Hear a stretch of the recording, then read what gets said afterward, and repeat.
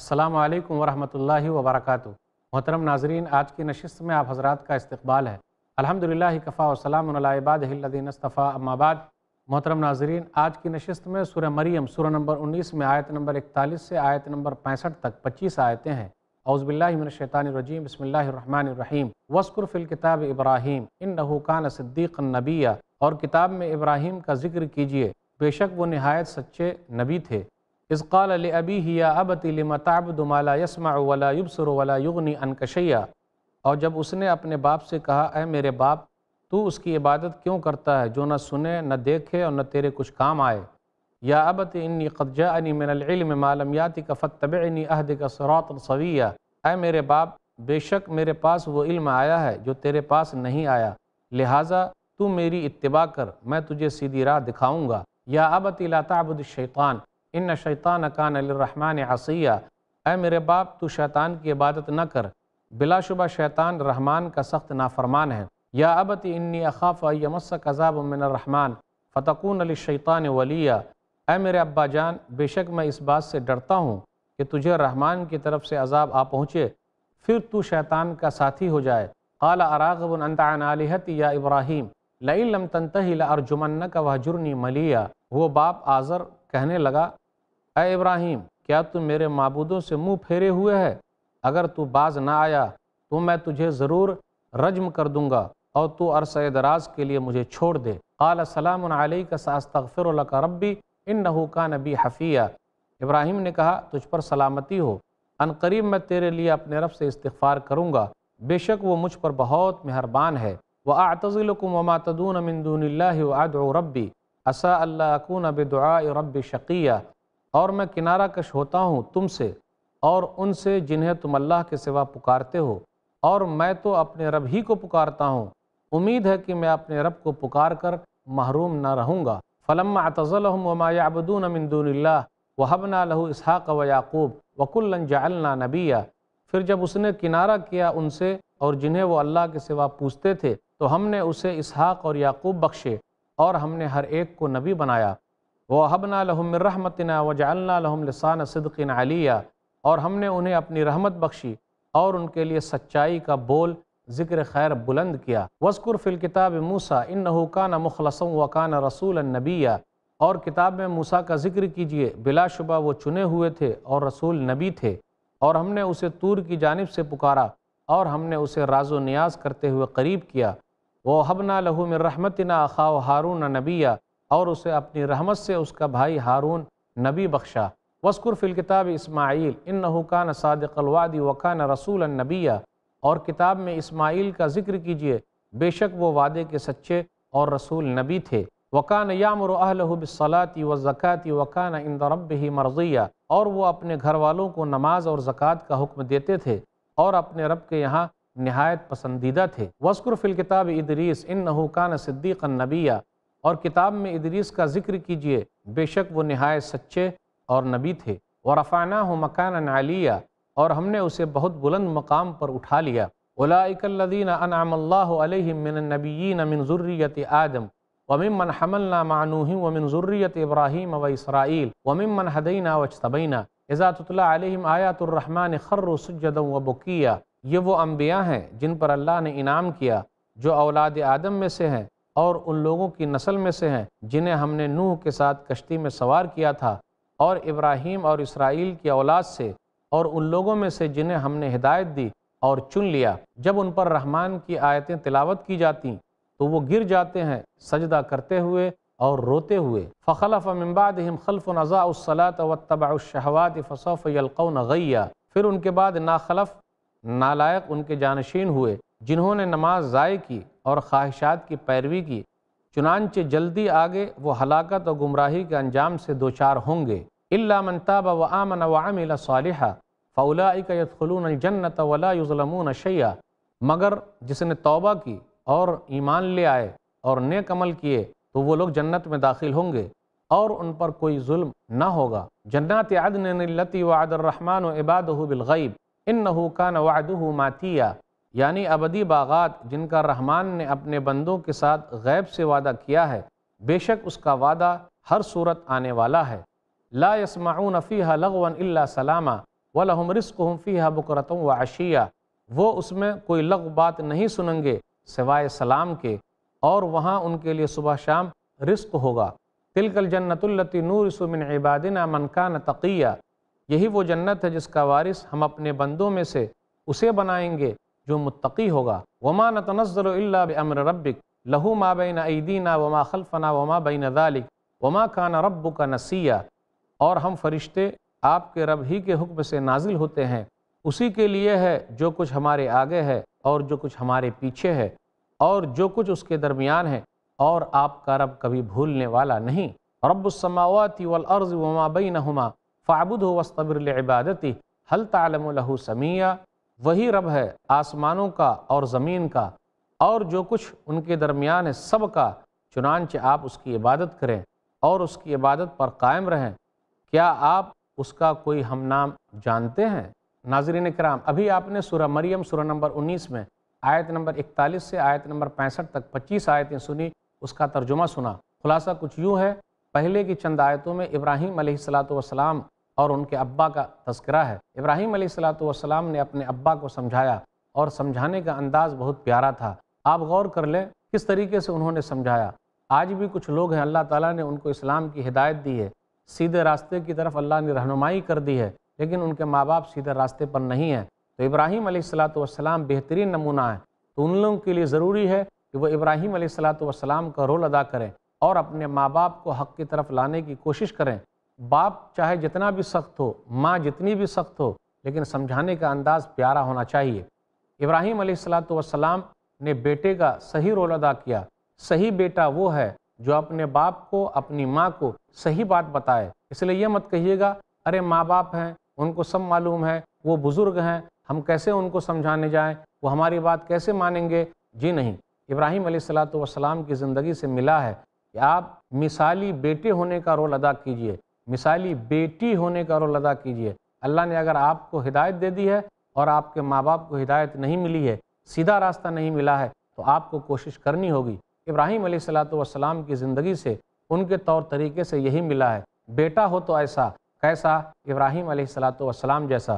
پھر آگے اور بھی نبیوں کا تذکرہ ہو رہا ہے، جیسے موسیٰ علیہ السلاۃ والسلام اور ہارون علیہ السلاۃ والسلام کا ذکر ہے، اسماعیل علیہ السلاۃ والسلام کا ذکر ہے۔ ادریس علیہ السلاۃ والسلام کا ذکر ہے، تمام انبیاء علیہ السلاۃ والسلام کا ذکر ہے۔ اللہ تعالیٰ نے تمام انبیاء علیہ السلاۃ والسلام پر اللہ تعالیٰ نے اپنا انعام کیا۔ وہ اللہ تعالیٰ کے نیک بندے تھے۔ پھر آگے اچھے اور برے لوگوں کا تذکرہ ہوا کہ برے لوگ کون ہیں؟ وہ لوگ جو نماز کو ضائع کرنے والے ہیں، برباد کرنے والے، ان قریب جہنم میں داخل ہوں گے۔ لیکن جن لوگوں نے توبہ کیا، جو لوگ ایمان لائے، جن لوگوں نے نیک عمل کیا، تو ان کے لیے جنت ہے اور ہمیشہ ہمیشہ اس کے اندر رہیں گے۔ پھر اس کے بعد یہ کہا جاتا ہے، فرشتے اللہ تعالیٰ کے حکم سے نازل ہوتے ہیں۔ اللہ تعالیٰ ان کو بھیجتا ہے۔ نیک کام کے لیے بھی آتے ہیں اور عذاب دینے کے لیے بھی آتے ہیں۔ خوشخبری سنانے کے لیے بھی آتے ہیں اور عذاب سے ڈرانے کے لیے بھی آتے ہیں۔ تو ناظرین کرام، یہ خلاصہ تھا۔ اب ذرا تفصیل کے ساتھ ان آیتوں کو لیتے ہیں۔ آیت نمبر اکتالیس سے آیت نمبر پچاس کے درمیان دس آیتوں میں ابراہیم علیہ السلاۃ والسلام اور ان کے باپ کا قصہ ہے۔ ابراہیم علیہ السلاۃ والسلام نے اپنے باپ دادا کے دین کو چھوڑا تو توحید والوں کے امام بن گئے۔ ابراہیم علیہ السلاۃ والسلام کے ابا آذر نے اپنے باپ دادا کے دین کو نہیں چھوڑا تو جہنم میں چلے گئے۔ تو کبھی کبھی باپ دادا کا دین غلط بھی ہو سکتا ہے۔ آج بھی لوگ گمراہی میں پڑے ہوئے ہیں۔ ان کے پاس ایک ہی دلیل ہے۔ جب دلیل کوئی نہیں بنتی تو سیدھا بولتے ہیں، باپ دادا کرتے ہوئے آ رہے ہیں تو کیا کریں؟ جی نہیں، آپ کو تحقیق کرنی پڑے گی، سوچنا پڑے گا، دیکھنا پڑے گا اور گھر والوں کو سمجھانا پڑے گا۔ اور پیارا انداز آپ کو سیکھنا پڑے گا۔ سمجھانے کا بھی انداز پیارا ہونا چاہیے۔ آئیے ابراہیم علیہ السلاۃ والسلام کی زندگی سے لے لیں، اپنے ابا کو کس طریقے سے وہ سمجھاتے ہیں؟ اس لیے کچھ بھائی ایسے ہیں جنہوں نے صحیح دھرم کو قبول کیا، صحیح منحج تک پہنچ گئے، لیکن وہ اپنے ماں باپ کے تعلق سے بہت سخت ہے جی وہ بات نہیں مانتے، وہ صحیح نہیں ہے، وہ درست نہیں ہے، ہم ان کے یہاں نہیں جا سکتے، ان کو سمجھا نہیں سکتے۔ جی نہیں، ابراہیم علیہ السلاۃ والسلام کی زندگی سے ملا ہے، پیارے انداز سے سمجھاتے رہنا ہے، جب تک کہ ماں باپ گھر سے نہ نکال دے۔ ابراہیم علیہ السلاۃ والسلام کو ان کے ابا نے نکال دیا۔ نکلنا گوارا ہے، لیکن باپ کے منہ نہیں لگے۔ پیارے انداز میں سمجھایا اور سلامتی کی دعا کرتے ہوئے نکلے کہ ہم آپ کے لیے دعا کرتے رہیں گے۔ میں آپ کے لیے استفار کرتا رہوں گا۔ اگر ماں باپ نکال دیں تو نکلیے، لیکن دعا کرتے رہیے۔ ان کی ہدایت کے لیے کہ اللہ تعالیٰ ان لوگوں کو سیدھے راستے پر لے آئے۔ آئیے ذرا انداز دیکھیں۔ ابراہیم علیہ السلاۃ والسلام کے بارے میں جو آیا ان کان صدیق النبیہ وہ سچے نبی تھے۔ صدیق، صدقن اس سے آتا ہے۔ سچائی اس کا معنی ہے، یہ مبالغہ کا سگا ہے۔ بہت زیادہ سچ بولنے والے راست باز، جن کا قول، جن کا عمل برابر ہو۔ زبان سے جو کہیں، عمل کر کے وہ دکھائیں۔ کسی طریقے کی کوئی تبدیلی نہ ہو۔ صدیق کہا جاتا ہے، ان کو وہ سچے ہیں۔ ہر نبی صدیق ہیں۔ عورت کے بارے میں بھی آیا، جیسے عیسیٰ علیہ السلاۃ والسلام کی ماں کے بارے میں، وہ ام صدیقہ۔ سورہ معاہدہ سورہ نمبر پانچ، آیت نمبر پچہتر، کہ ان کی ماں بہت زیادہ راست باز تھی۔ سچ بات بولنے والی تھی، راست باز تھی، سچی تھی۔ امت محمدیہ کے اندر بھی صدیق ہیں، جیسا کہ ابو بکر صدیق رضی اللہ تعالیٰ عنہ کو یہ مقام ملا ہے، یہ مرتبہ ملا ہے۔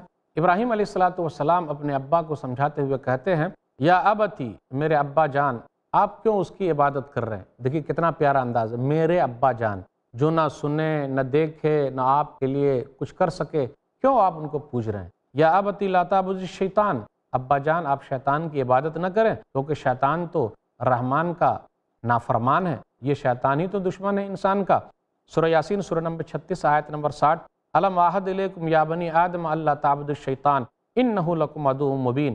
کیا میں نے تم لوگوں سے، اے آدم کی اولاد، عہد و پیمان نہیں لیا تھا کہ تم شیطان کی عبادت نہیں کرو گے؟ کیونکہ شیطان تم لوگوں کا کھلا ہوا دشمن ہے۔ سورہ نساء، سورہ نمبر چار، آیت نمبر ایک سو سترہ۔ ان یدون من دونه الا اناثا۔ وان یدون الا شیطان مریدا وہ لوگ اللہ کو چھوڑ کر دیویوں کو پکارتے ہیں۔ دراصل وہ سرکش شیطان کو پکار رہے ہیں۔ ان شیطان کان الرحمن عصیہ بے شک شیطان اللہ کا نافرمان ہے۔ شیطان کی پیروی کرنا یہ جہنم میں جانے کا سبب ہے۔ جو لوگ شیطان کی پیروی کرتے ہیں، شیطان کے طور طریقے پر چلتے ہیں، ان کا بڑا نقصان ہے۔ اللہ لقد ارسلنا الى امم من قبل کا فضین لهم الشیطان وعمالهم فهو وليهم اليوم ولهم عذاب علیم۔ سورہ نحل، سورہ نمبر سولہ، آیت نمبر ترسٹھ۔ اللہ کی قسم، تحقیق کہ ہم نے امت کے اندر آپ سے پہلے پیغمبر کو بھیجا تو شیطان نے ان کی ناشائستہ کردار کو اچھا بنا کر کے پیش کیا۔ شیطان لوگوں کے لیے دوست بنا ہوا ہے اور ان لوگوں کے لیے دردناک عذاب ہے۔ آگے غور کریں، آیت نمبر چھیالیس سے اڑتالیس کے درمیان ہے کہ ابراہیم علیہ السلاۃ والسلام کے ابا آذر کا کیا جواب تھا؟ قال اراغب انت نالیت یا ابراہیم؟ لئی لم تنتہی ارجمن کا وحجرنی ملیا۔ اتنے پیارے انداز میں سمجھایا، ابا کو یہ بات صحیح نہیں لگی، ابا کو یہ بات اچھی نہیں لگی۔ تو ان کے ابا نے کیا کہا؟ اچھا میرا معبود کو برا بلا کہتا ہے، اب غور کر لیجیے، دیکھ لیجیے۔ معبودوں سے انحراف کیے ہوئے ہے، میں تجھے سنسار کر دوں گا۔ دفع ہو جاؤ، دور ہو جاؤ۔ ابراہیم علیہ السلاۃ والسلام نے بڑی کوشش کی۔ اللہ تعالیٰ کے ولی ہیں۔ اللہ نے ان کو دوست بنایا، ولی بنایا۔ لیکن اس کے باوجود بھی باپ کے سلسلے میں جو انہوں نے کوشش کی، اللہ نے نہیں چاہا، اس لیے وہ مسلمان نہیں ہوئے۔ نو علیہ السلاۃ والسلام نیک ہیں، بڑی کوشش کی کہ بیٹا توحید والا ہو جائے، لیکن نہیں ہوا۔ کیونکہ ان کے ہاتھ میں نہیں ہے۔ ہدایت دینا اللہ کے ہاتھ میں ہے۔ ان نقلا تحدی من حبت ولاکن اللہ یہ من یشا وہ عالم و سورہ قصص، سورہ نمبر اٹھائیس، آیت نمبر چھپن۔ آپ جس کو چاہتے ہدایت دینا، آپ نہیں دے سکتے۔ اللہ جس کو چاہتا ہے ہدایت دیتا ہے۔ تو ابراہیم علیہ السلاۃ والسلام نے بڑی کوشش کی۔ اللہ تعالیٰ نے ان کو خلیل بنایا، اللہ نے ان کو چنا تھا، بالآخر ابا نے نکال دیا۔ تو سلام علیک، سلام کرتے ہوئے نکلے اور کہا کہ میں آپ کے لیے تو دعا کرتا رہوں گا، سیدھے راستے کی دعا کرتا رہوں گا۔ یہی ہوتا ہے، اگر کوئی جاہل آدمی سامنے آ جائے تو نیک آدمی کی نشانی یہ ہے، مومن کی نشانی یہ ہے اسلام کرتے ہوئے نکل جائے۔ بحث نہ کرے، تکرار نہ کرے۔ ویزا خاطبہم الجاہلون قالوا سلامہ سورہ فرقان، سورہ نمبر پچیس، آیت نمبر ترسٹھ، کہ جب جاہلوں سے ان کا آمنا سامنا ہوتا ہے، تو وہ سلام کہتے ہوئے نکل جاتے ہیں۔ سورہ قصص، سورہ نمبر اٹھائیس، آیت نمبر پچپن۔ ویزا سمع اللہ و آرزو عنہ وقالوا لنا اعمالنا ولکم اعمالکم سلام علیکم لا نبتغی الجاہلین اور جب بےہودہ باتیں سنتے ہیں، تو اعراض کرتے ہوئے نکل جاتے کہتے ہیں، ہمارا عمل ہمارے ساتھ، تمہارا عمل تمہارے ساتھ، تمہارے اوپر سلام ہو ہم جاہلوں کو پسند نہیں کرتے۔ آگے غور کر لیجیے ساستغفر لک ربی ساستغفر لک ربی انہو کا نبی حفیہ۔ میں آپ کے لیے رب سے بخشش مانگوں گا۔ بے شک وہ مجھ پر بہت مہربان ہے ابراہیم علیہ السلاۃ والسلام نے بڑی کوشش کی، لیکن اللہ تعالیٰ نے نہیں لکھا تھا، اس لیے ان کے ابا اسلام نہیں لائے، مسلمان نہیں ہوئے۔ قیامت کے دن بھی دعا کرنے کا انہوں نے وعدہ کیا ہے۔ قرآن کی آیت ہے، سورہ ابراہیم، سورہ نمبر چودہ، آیت نمبر اکتالیس۔ رب اغفر لی ولی والدی والمؤمنین یوم یقوم الحساب۔ اے ہمارے رب، مجھے بخش دے، میرے ماں باپ کو بخش دے، مومنوں کو بخش دے۔ اس دن، جس دن حساب ہونے لگے۔ ابراہیم علیہ السلاۃ والسلام نے اپنی طرف سے پوری کوشش کی ہے، ہدایت دینا اللہ کے ہاتھ میں ہے۔ پھر اس کے بعد یہ ہے، ایک مدت کے بعد جب ان کو پتہ یہ چلا کہ ابا توحید پر نہیں ہے شک پر ہی مر گئے، تو اب انہوں نے استغفار کرنا چھوڑ دیا۔ سورہ توبہ، سورہ نمبر نو، آیت نمبر ایک سو چودہ۔ وما کان استغفار ابراہیم علیہ ابی اللہ امعدتی وعدہ ایاہ ابراہیم علیہ السلاۃ والسلام نے جو اپنے ابا کے لیے استغفار کیا، وہ ایک وعدہ تھا۔ اور جب ان پر یہ بات واضح ہو گئی کہ وہ اللہ کا دشمن ہے، تو انہوں نے استغفار کرنا چھوڑ دیا۔ فلما تبین له انه عدو للہ تبرع منه۔ ان ابراہیم اللہ حلیم جب واضح ہو گیا کہ وہ اللہ کے دشمن ہے، تو بیزاری اختیار کی اور چھوڑ دیا۔ اور ابراہیم علیہ السلاۃ والسلام نہایت نرم دل اور متحمل تھے۔ پھر اس کے بعد ابراہیم علیہ السلاۃ والسلام کہتے ہیں کہ میں اب تم لوگوں سے دوری اختیار کرتا ہوں، جس کی تم پوجا کر رہے ہو، میں اس سے بھی الگ تھلگ ہو رہا ہوں اور میں اپنے رب کو پکارتا ہوں۔ بے شک میرا رب میری پکار کو سن رہا ہے، میں اپنے رب کو پکار کر محروم نہیں رہوں گا۔ اسا اللہ اکون اب دعا رب شقیہ۔ اب آگے غور کریں، آیت نمبر انچاس اور پچاس میں ہے کہ ابراہیم علیہ السلاۃ والسلام کو اللہ تعالیٰ نے اسحاق اور یعقوب عطا کیے۔ اسحاق علیہ السلاۃ والسلام دوسرے بیٹے ہیں، اسماعیل علیہ السلاۃ والسلام پہلے بیٹے ہیں، بڑے بیٹے ہیں اور اسحاق علیہ السلاۃ والسلام چھوٹے بیٹے ہیں۔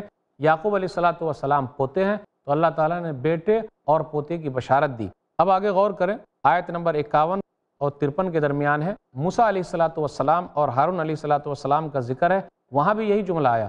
وسکر فی الکتاب موسا ان نحو کان مخلص وکان رسول النبیہ کتاب کے اندر موسیٰ علیہ السلاۃ والسلام کو یاد کیجیے، وہ چنے ہوئے تھے، رسول تھے، نبی تھے۔ موسیٰ علیہ السلاۃ والسلام کو دونوں صفتوں سے نوازا گیا ہے۔ اور العظم رسولوں میں سے ہیں موسیٰ علیہ السلاۃ والسلام، جیسے نو علیہ السلاۃ والسلام ہے ابراہیم علیہ السلاۃ والسلام ہے موسیٰ علیہ السلاۃ والسلام ہے عیسیٰ علیہ السلاۃ والسلام ہے اور ہم سب کے نبی، بنی نو انسانیت کے سردار محمد صلی اللہ علیہ وسلم اول العظم رسولوں میں سے ہیں۔ موسیٰ علیہ السلاۃ والسلام نے سفارش کی اسی لیے ہارون علیہ السلاۃ والسلام کو بھی اللہ تعالیٰ نے نبی بنایا۔ یہ سب سے بہترین سفارش تھی۔ سورہ قصص، سورہ نمبر اٹھائیس، آیت نمبر چونتیس۔ واقعی ہارون ہو افسہ منی لسان فارسل ما یرد ان صدقنی انی اخاف ان یکذبون۔ میرے بھائی ہارون کی زبان مجھ سے زیادہ فصیح ہے۔ تو اس کو میرے ساتھ مددگار بنا کر بھیج تاکہ وہ میری تصدیق کریں مجھے ڈر لگا ہوا ہے کہ وہ مجھے جھٹلا نہ دے۔ اس کے بعد اللہ تعالیٰ نے کہا، سورہ تاہا سورہ نمبر بیس، آیت نمبر چھتیس۔ قد اوتی تو سو یا موسا اے موسا جو تو نے مانگا، ہم نے دے دیا۔ یعنی ہارون کو تیری سفارش سے ہم نے نبی بنایا۔ یہ سب سے بڑی سفارش تھی اور اللہ تعالیٰ نے اس سفارش کو قبول فرمائی۔ اب آگے آیت نمبر چون اور پچپن بغور کیجیے۔ اسماعیل علیہ السلاۃ والسلام کے بارے میں ہے۔ وسکر فی الکتاب اسماعیل آپ اسماعیل کو کتاب میں یاد کیجیے۔ وکان رسول النبیہ وہ رسول تھے، نبی تھے۔ وکان یامر اہل بصلاۃ و زکوٰۃ وکان ان ہی مرضیہ وہ اپنے گھر والوں کو نماز کا اور زکوٰۃ کا حکم دیتے تھے۔ دیکھیے، انبیاء علیہ السلاۃ والسلام کو اپنی اولاد کے تعلق سے کتنی فکر ہے، نماز کے تعلق سے کتنی فکر ہے، زکوٰۃ کے تعلق سے کتنی فکر ہے۔ اس لیے ہم سب کو بھی اپنی اولاد کے لیے نماز کے تعلق سے فکر ہونی چاہیے، زکوٰۃ کے تعلق سے فکر ہونی چاہیے، اللہ کے قوانین پر چلنے کے تعلق سے فکر ہونی چاہیے۔ آپ غور کریں، نبی صلی اللہ علیہ وسلم سے بھی یہی کہا جاتا ہے سورہ تاہا سورہ نمبر بیس، آیت نمبر ایک سو بتیس۔ وام الحل کا وسطبر علیہ اللہ نسلوں کا رزقہ نہ نرزق ولاقبۃ التقوا آپ اپنے گھر والوں کو نماز کا حکم دیجیے اور آپ صبر کیجیے۔ ہم آپ سے رزق نہیں مانگ رہے ہیں اور آپ کے رب کا رزق بہتر ہے، وہ باقی رہنے والا ہے۔ اس لیے یاد رکھیے، ہم خود سیدھے ہیں، سیدھے راستے پر ہے لیکن ہماری اولاد سیدھے راستے پر نہیں ہے۔ کل قیامت کے دن پوچھا جائے گا۔ اس لیے اپنے آپ کو بھی بچانا ہے، اپنی اولاد کو بھی بچانا ہے۔ یا یو الدین عام نقو انفسکم و اہلیکم نارا۔ سورہ تحریم سورہ نمبر چھیاسٹھ، آیت نمبر چھ، اے ایمان والو، تم اپنے آپ کو اور اپنے گھر والوں کو جہنم کی آگ سے بچاؤ۔ اس لیے فکر کیجیے، اولاد کے تعلق سے فکر کیجیے، گھر والوں کے تعلق سے فکر کیجیے۔ یہ فکر انبیاؤں کی فکر ہے۔ اللہ ہم سب کو اس کی توفیق دے، آمین۔ آگے آیت نمبر چھپن اور ستاون میں ہے، ادریس علیہ السلاۃ والسلام کا ذکر ہے یعنی نبیوں کا سلسلہ چل رہا ہے۔ آپ کتاب میں ادریس کو یاد کر لیجیے، وہ سچے نبی تھے۔ جب لوگوں نے قتل کرنا چاہا، تو اللہ تعالیٰ نے ان کو اٹھا لیا۔ بلند مقام اللہ تعالیٰ نے ان کو عطا کیا ہے۔ آیت نمبر انسٹھ سے ترسٹھ کے درمیان غور کیجیے، اچھے اور برے لوگ کون ہیں؟ برے لوگ وہ ہیں جنہوں نے نماز کو ضائع کر دیا، خواہشات کی پیروی کی، تو یہ لوگ جہنم میں جائیں گے۔ یہ لوگ برے لوگ ہیں، یہ لوگ جہنم میں جانے والے ہیں۔ اچھے لوگ وہ ہیں جنہوں نے توبہ کر لیا، جو ایمان لائے، جن لوگوں نے نیک عمل کیا، تو ان لوگوں کے لیے جنت ہے اور ہمیشہ ہمیشہ اس کے اندر رہیں گے۔ اس کے بعد اللہ تعالیٰ کی صفت بیان کی جا رہی ہے۔ آیت نمبر چونسٹھ اور پینسٹھ پر غور کیجیے۔ وما کا نرب کا نسیہ آسمان و زمین کا پیدا کرنے والا اللہ ہے، اور آپ کا رب جو ہے، وما کا نرب کا نسیہ اور آپ کا رب بھولنے والا نہیں۔ اللہ کسی چیز کو نہیں بھولتا، اللہ سے کوئی چیز چوکتی نہیں۔ اس لیے کوئی یہ کہے کہ اللہ نے ایسا کیوں کیا، اللہ نے ایسا کیوں نہیں کیا، ایسا ہونا چاہیے تھا؟ جی نہیں۔ وما کا نرب کا نسیہ اور آپ کا رب کسی چیز کو بھولنے والا نہیں ہے۔ تو نبی صلی اللہ علیہ وسلم سے آگے کہا جاتا ہے، آپ اپنے رب کے لیے عبادت کرتے رہیے، اور اللہ کے بہترین نام ہے کیا اللہ تعالیٰ سے بہتر نام کسی کا ہو سکتا؟ اس کے بعد فرشتوں کے بارے میں ذکر ہوا کہ فرشتے اللہ تعالیٰ کے حکم سے نازل ہوتے ہیں۔ خوشخبری سنانے کے لیے بھی نازل ہوتے ہیں، عذاب دینے کے لیے بھی نازل ہوتے ہیں۔ اے کفار مکہ، تمہاری حالت کیا ہے؟ کیا خوشخبری کے لیے اتریں گے؟ یا عذاب دینے کے لیے اتریں گے؟ تو ناظرین اکرام یہ چند باتیں تھی دعا کریں، اللہ تعالیٰ ہم لوگوں کو مثالی بیٹا بنائے، مثالی بیٹی بنائے، اپنے ماں باپ کی خدمت کرنے کی توفیق دے۔ اللہ تعالیٰ اپنے ماں باپ کو سیدھے راستے پر لانے کے ہم لوگوں کو توفیق دے، آمین۔ واخر دعوانا الحمد للہ رب العالمین۔ وصلی اللہ علیہ نبینا محمد و علیہ وسلم السلام علیکم ورحمۃ اللہ وبرکاتہ۔